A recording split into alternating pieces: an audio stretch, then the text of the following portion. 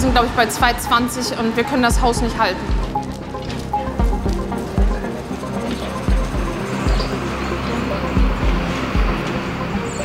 Der Wasserdruck hat das einfach weggesprengt und es war Ende. Vorher haben wir das Haus als Wert. Das haben wir jetzt aber nicht mehr.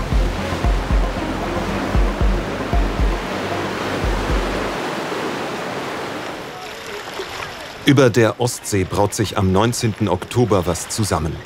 Sturm aus Osten ist angesagt. Über mehrere Tage. Überall wie hier in Travemünde oder Grömitz machen Einsatzkräfte Strände und Küsten sturmfest.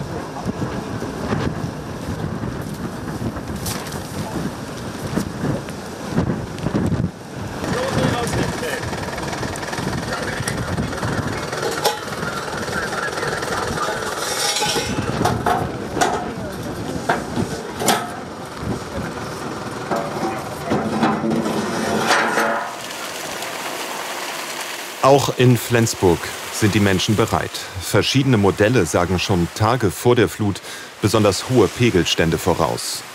Der Abend vor der Flut.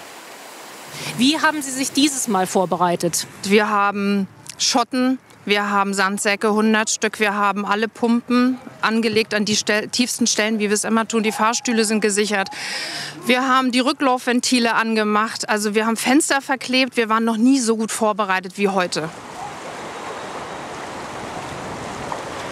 Freitag, der Fluttag. Der Sturm drückt die Wassermassen weiter in die Flensburger Förde. Am Nachmittag steigt das Wasser immer weiter.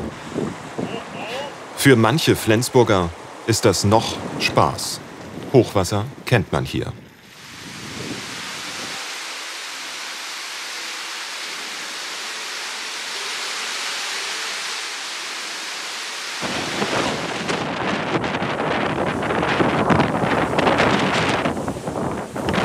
Der Sturm nimmt schnell an Stärke zu.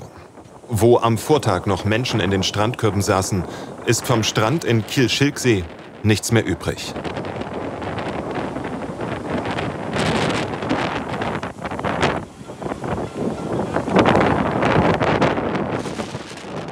Zahlreiche Segel- und Motorboote liegen an diesem Herbstferientag noch im Olympiahafen, sind noch nicht an Land gebracht. Doch der Steinwall bietet kaum noch Schutz. Was keiner ahnt, es wird eine verlustreiche Nacht.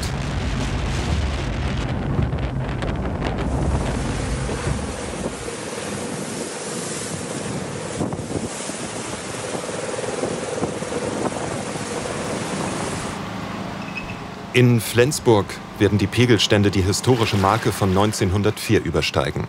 Höchststand damals 2,23 Meter.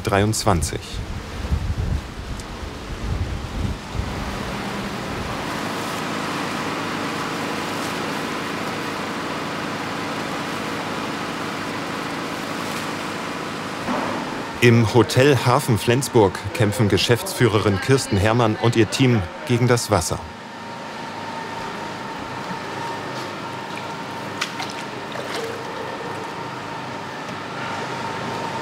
In echt haben wir gerade, glaube ich, den nervlichen Zusammenbruch gehabt, weil wir haben das Haus verloren. Wir haben alles, was wir versucht haben zu machen.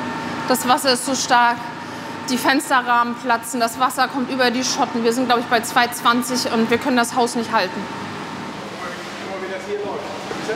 Und es steigt weiter.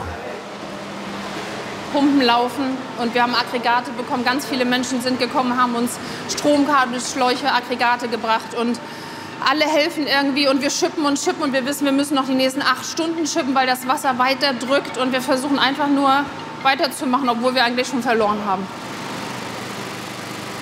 Jahrhundertflut in Flensburg mit 2,27 Meter über dem mittleren Wasserstand.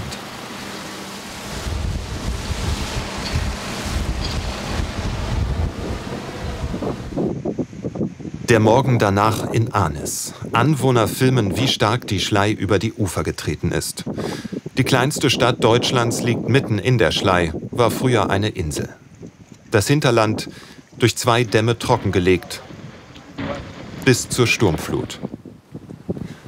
Erst läuft die Flut über den Damm, dann reißt sie ein Loch rein, 60 Meter breit.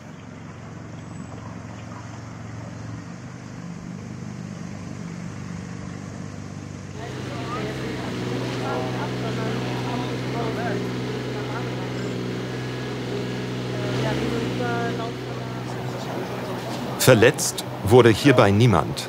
Die Gemeinde hat früh genug reagiert. Die Häuser, die in dem äh, Überflutungsbereich stehen, die waren schon evakuiert. Aber es hat für Arnes bedeutet, dass wir vollgelaufen sind. Also ähm, dass die Wassermassen sind hier innerhalb von Minuten reingeströmt, sodass ähm, ja, Arnes einfach unter Wasser stand.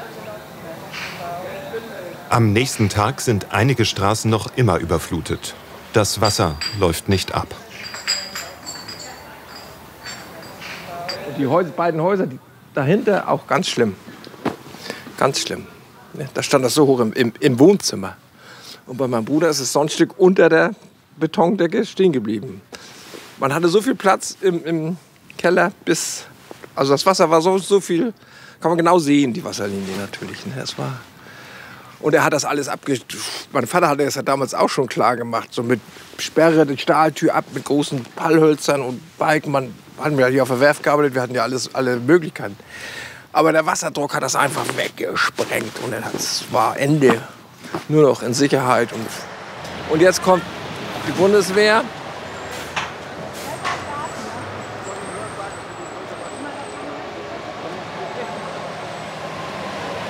Die Bundeswehr ist auf dem Weg zum Deich mit ihrem Straßenfaltgerät. Okay, ne, dann noch viel äh, Spaß, kann man wohl nicht sagen.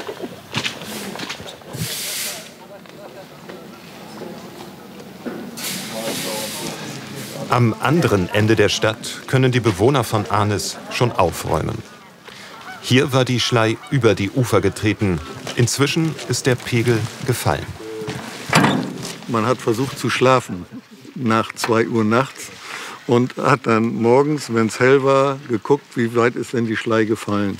Und das war auch schon der Startschuss dazu, dass man natürlich in den Garten geht und guckt, was habe ich, was haben die Nachbarn und dass man anfängt schon mal Schubkarre und Mistforke zusammenzusammeln. Und dann ging das eigentlich kontinuierlich los.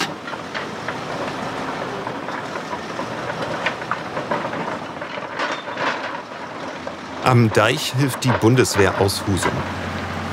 Verlegt zwei Fallstraßen, damit hier so schnell wie möglich schweres Gerät zum Deichbruch kommen kann.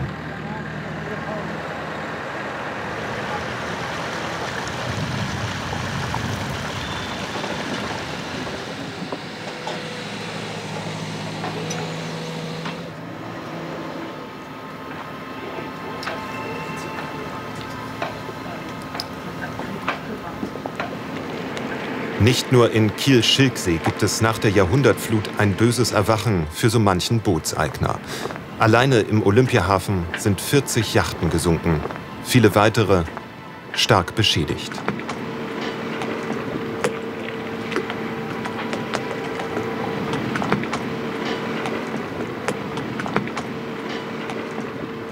Wer keine Vollkaskoversicherung für sein Boot abgeschlossen hat, wird den Schaden und die Bergung aus eigener Tasche zahlen müssen. Einer der größten deutschen Yachtversicherer, die Hamburger Panthenius, rechnet mit 400 beschädigten oder gesunkenen Yachten in Schleswig-Holstein. An den Hotspots gibt es mindestens 30 Prozent Totalverluste.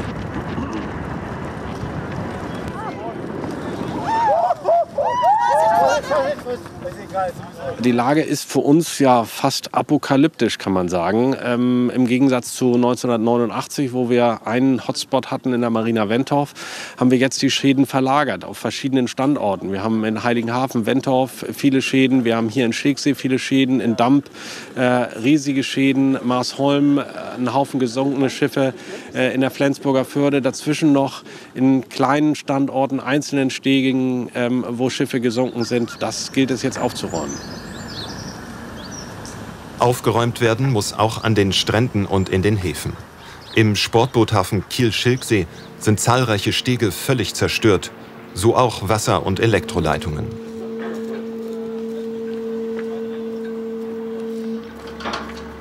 Sportboothafenchef Philipp Mühlenhardt rechnet allein im Olympiahafen mit Kosten in Millionenhöhe. Tatsächlich ist es so, dass wir unsere Steganlagen nicht versichert haben. Äh, die Prämie für Versicherung von Steganlagen, die wäre derart hoch, dass wir bewusst in Kauf genommen haben, dass es mal einen Schaden gibt, den wir dann einfach aus dem sozusagen aus dem Cashflow dann auch bezahlen. Äh, ich, mir ist nicht bekannt, dass irgendein Hafenbetreiber seine Anlagen tatsächlich versichert hat, weil das, diese Versicherung, diese Absicherung gegen Naturgewalten, die ist derart teuer, dass sich für uns die Frage nicht gestellt hat. 5000 Euro Versicherungsprämie im Monat hätte er in Kiel zahlen müssen. Pro Tag werden nun ein bis zwei Yachten geborgen.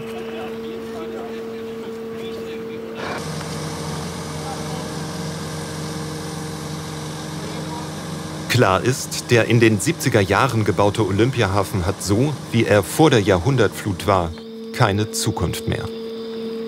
Wir müssen das Thema Klima in unseren Häfen, in allen unseren Häfen, nicht nur in Scheksee, wir müssen das Thema Klima tatsächlich komplett neu denken. Also wir fangen jetzt schon an, da wo wir Stege neu bauen, dass wir die um 20 Zentimeter erhöhen.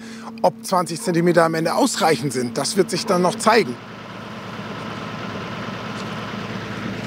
Die Hilfsbereitschaft war überwältigend. Also unsere Hafenmeister sind versorgt worden mit Kuchen und Brötchen rund um die Uhr. Und wir haben Freiwillige gehabt, die mitgeholfen haben, das Wasser zu reinigen von dem, vom Seegras, wo sich auch immer noch Plastik drin befindet. Das war auch eine sehr angenehme Begleiterscheinung, die mich echt zu Tränen gerührt hat. Ähm, aber die, die dann eben tatsächlich mit Kinderwagen, Kind und Kegel über den Steg gelaufen sind, um ein paar Fotos zu machen, das war schon erschütternd, die sich teilweise auch in Gefahr begeben haben, weil die Steganlagen eben nicht mehr vollkommen trittsicher sind. Seine Hoffnung, ein funktionierender Hafen bis zum Start der Kieler Woche im Juni kommenden Jahres. Getroffen hat die Sturmflut auch viele Campingplätze an der Küste. Blick auf die Ostsee, Traumlage direkt am Wasser, während der Jahrhundertflut Albtraumlage. Auch auf dem Campingplatz Langballig auch. Marlene Voss betreibt hier mit ihrem Mann ein Hotel und Restaurant.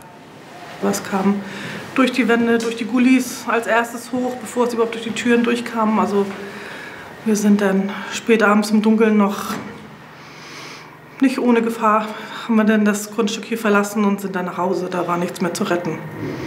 Und konnten erst am nächsten Tag, als es wieder hell war, hier schauen, was denn das alles angerichtet hat.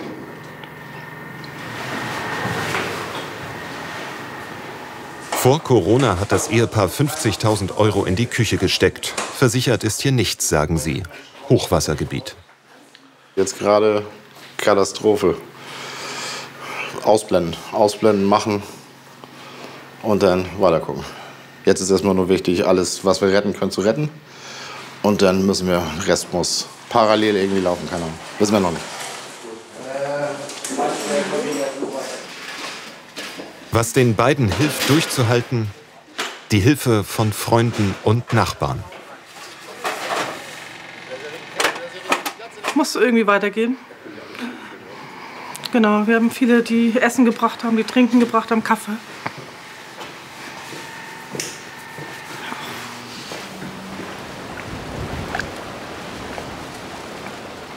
Vom Campingplatz ist nicht viel übrig geblieben.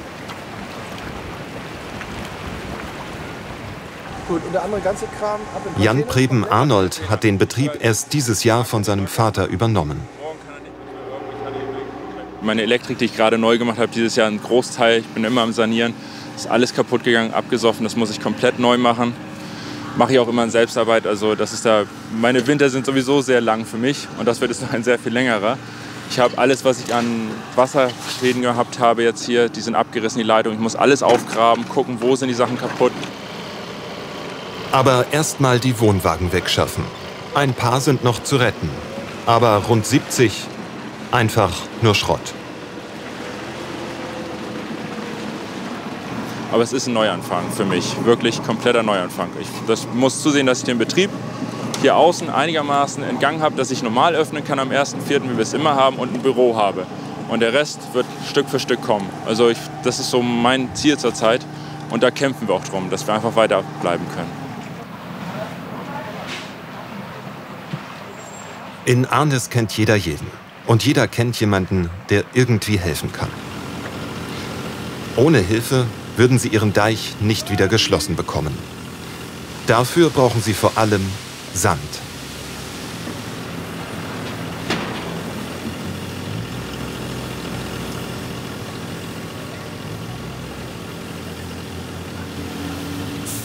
Hier helfen etliche freiwillige Feuerwehren aus Schleswig-Holstein. Und die Bundeswehr. Die bringt die Riesensandsäcke zum gebrochenen Deich.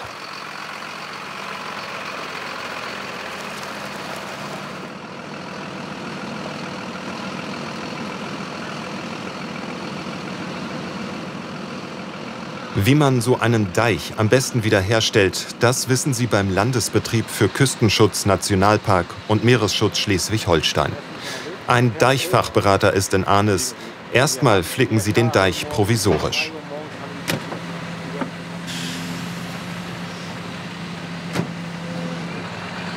Ich habe so ziemlich gar nichts erwartet. Ich habe ein Foto gesehen, der Deich ist gebrochen. Ähm, wir sind hier angekommen und haben uns auch erstmal vorgetastet. Also wir haben auf der Grundlage, dass wir mit dem Bagger mal geschaut haben, wie tief ist es denn ungefähr, haben wir eine grobe Massenermittlung mal gemacht, damit wir wissen, was brauchen wir denn mindestens hier. Und wir gehen aktuell so von rund 700 Kubikmetern aus. Ähm, das heißt, 1400 von diesen Big Packs werden wir da reinbringen müssen. Solange das Loch nicht geschlossen ist, ist Abpumpen sinnlos. Deshalb stehen Teile der 300 Einwohnerstadt auch Tage nach der Jahrhundertflut noch unter Wasser. Auch das Haus von Ralf Timm.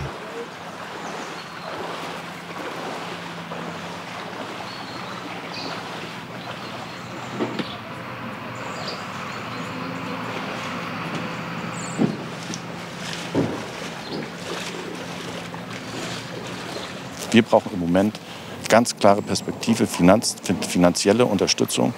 Wir haben das Haus vor fünf Jahren gekauft. Also wir haben da noch ja, eine riesen, riesen Schulden. Also vorher konnte man sagen, okay, wir haben keine Schulden, weil wir im Gegenzug äh, haben wir äh, äh, das Haus als Wert. Das haben wir jetzt aber nicht mehr.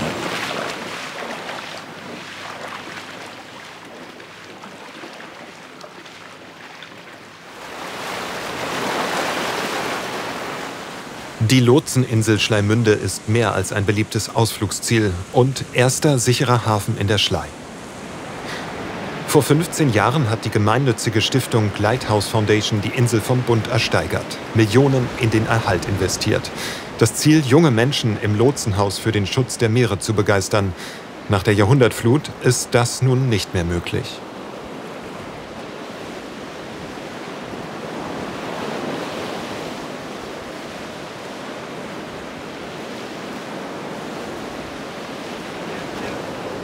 Erste Schadensaufnahme mit einem Ingenieur für Wasserbau im Auftrag der Foundation. Philipp Zülsdorf kennt die Lotseninsel gut, setzt sich auch privat seit Jahren für ihren Erhalt ein. Man hat mal versucht, im Deichbau oder in der Ufersicherung eine Schicht zu schaffen, wo das Wasser eben nicht das lose Material rausziehen kann. Das ist halt hier diese äh, Wasserbausteine vergossen und dann hier oben eine windige Lehmschicht eingebaut. Ne? Und wenn das jetzt aber alles weg ist, ist mit dem nächsten Sturm das Material, was hier sonst liegt, eben auch weg. Deswegen müsste hier unbedingt sofort was passieren. Das hier ist die Stromversorgung für den Pegel vom Wasser- und Schifffahrtsamt. Und die ist nicht einfach irgendwie hochgekommen, sondern die lag tief vergraben. Und das alles, was da drüber lag, ist einfach weg. Hier war ja früher auch Strand, hier sind Buhnen gewesen. Alles einfach abgetragen. Der Experte für Küstenschutz hat bereits nach der letzten Sturmflut vor vier Jahren mehr Schutz vom Land gefordert. Vergeblich. Die Pfahlgründung ist immer noch da, die Aufhängung landseits auch. Aber die Verbindungsmittel hat es einfach rausgerissen. Und das sind ja nun keine kleinen hier. Im Lotsenhaus sollten jetzt eigentlich Schüler der Ostseeschule Flensburg eine Segelfreizeit verbringen. Versorgt werden die Besucher sonst über die Giftbude, ein kleines Restaurant. In der Saison betrieben auch von Menschen mit Handicap. Doch an mehrnahen Unterricht ist nun nicht mehr zu denken. Dieser Ort und die Lage von dem Ort ist schon relativ einzigartig, dass man eben den Wasserzugang hat, gleichzeitig das Naturschutzgebiet drumherum und wir hier in einem ganz eigentlich geschützten Raum und hoffentlich irgendwann auch wieder geschützten Raum eben mit Kindern und Jugendlichen inklusiv arbeiten können. Die mehr als einen Meter dicke Schutzmauer vor dem Lotsenhaus löchrig wie ein Schweizer Käse. Und wenn das nicht schnell repariert oder gesichert wird, dann wird die Mauer auch hier an der Stelle einbrechen, so wie sie es da vorne getan hat. Aber wir haben an der ganzen Küste das Problem, dass wir große Schäden haben. Und wo kriegen wir jetzt so schnell jemanden her, der das alles instand setzen kann und das bei den Bedingungen? Und die Sturmflutsaison hat gerade erst begonnen. Jede Ostwindlage kann erneut zur Gefahr werden.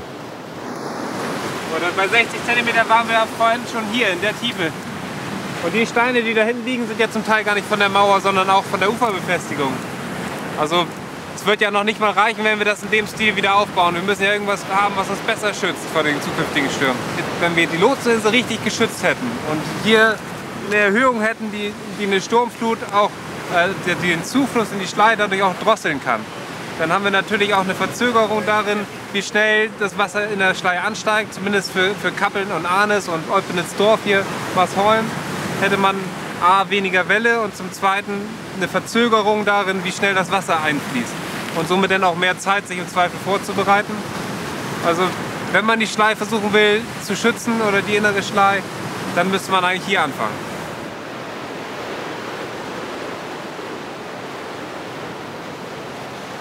Ob die Lighthouse Foundation weiterhin an der Lotseninsel festhalten kann, ist zum jetzigen Zeitpunkt völlig unklar. Die Schäden sind einfach zu groß.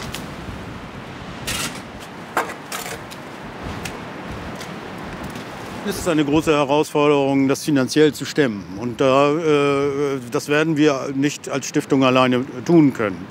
Und da braucht man auch im Grunde genommen einen, äh, den politischen Willen also, und die Vision, was man dann eigentlich hier gegen äh, Meeresspiegelanstieg tun kann. Bis auf weiteres herrscht Betretungsverbot auf der gesamten Insel.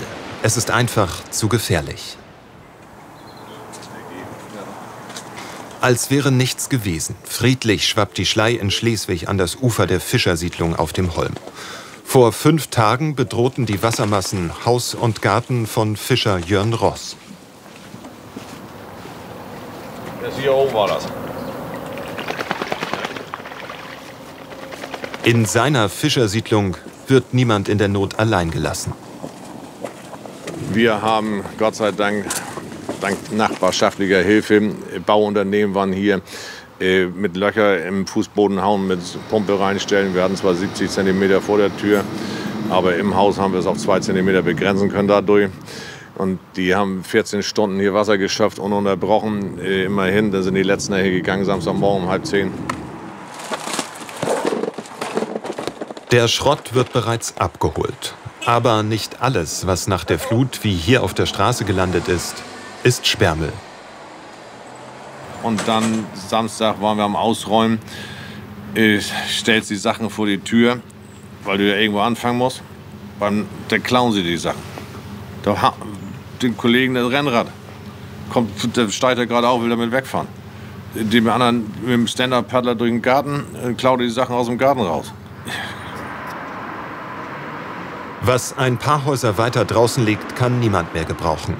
Vor einem Jahr wurde hier der Holzfußboden neu verlegt. Nun stehen die Eigentümer auf Lehmboden. Erstmal denkt man, okay, na, der Boden, wir trocknen den mal und gucken mal und das wird vielleicht nicht ganz so schlimm. Wir konnten viel Mobiliar retten. So, und dann merkst du, der Boden kommt hoch, es muss hoch und dann fängst du an und dann sieht das so aus. Dann kommt immer mal mehr zum Vorschein und dann wird der Schaden immer größer und größer. Und wir wissen ja, dass wir nicht versichert sind gegen Sturmflutschäden. Also von daher hoffen wir, dass das Land da ein bisschen unterstützt ähm, und dass wir von der Seite ein bisschen äh, Unterstützung kriegen und vielleicht auch ein zinsgünstiges Darlehen. Aber ansonsten denke ich mal, wird der Großteil davon Privatspaß sein. Der 89 Jahre alte Peter Hader hatte gerade seine Ehefrau beerdigt. Als er nach Hause kam, stand seine Wohnung unter Wasser. Wir kriegen das ja nicht getrocknet, Peter. Ne? Nee. Wir können das nur reinlegen bei den Trocknungsmaschinen vielleicht. Ich würde sagen, lass uns das einen Augenblick äh, noch behalten, bis das hier erledigt ist. Ja. 70 Zentimeter hoch stand das Wasser in seiner Mietswohnung. Sie ist unbewohnbar geworden. Nun sucht der Rentner eine neue Bleibe. Nachbarn helfen ihm beim Abtransport seiner durchnässten Sachen. Vieles davon unwiederbringliche Erinnerungsstücke.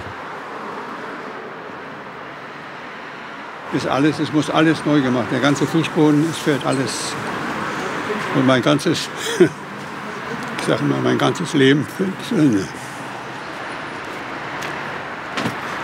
Die Flut hat ihre Spuren hinterlassen. Nicht nur in Schleswig, wo es auf den ersten Blick wieder so aussieht, als sei nichts gewesen.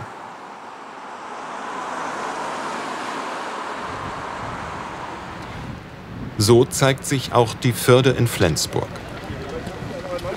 Land und Kommunen werden einen 200 Millionen Euro schweren Aufbaufonds einrichten.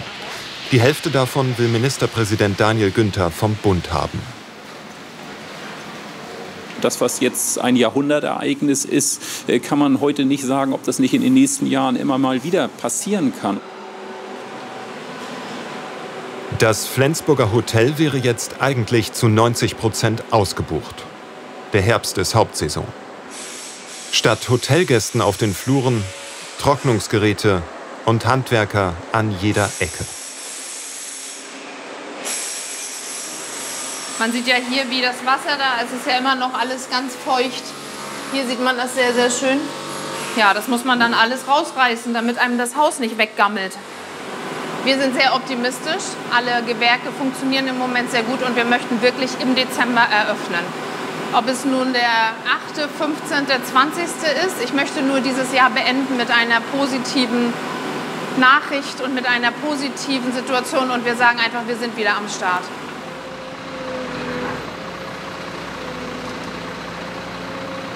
In Arnis hat der provisorische Deich seine Höhe zurück. Eigentlich wollte die Stadt ihr Feuerwehrgerätehaus neu bauen. Jetzt hat sie andere Probleme. Wir haben im Moment überhaupt keinen Überblick, was bereits an Kosten entstanden ist. Und wir wissen auch noch nicht, was noch zusätzlich auf uns zukommen wird. Ich denke, den meisten wird klar sein, dass das äh, weit darüber hinausgeht, was äh, Deutschlands kleinste Stadt wird leisten können. Ähm, es sind uns Hilfen angeboten worden, pragmatische Hilfen, aber wie das tatsächlich am Ende finanziell auch für die Stadt Arnes aussehen wird, ähm, können wir heute noch nicht absehen. Die Pumpen laufen in Arnes, knapp eine Woche nach der Jahrhundertflut. Schleswig-Holstein wird noch monatelang aufräumen müssen.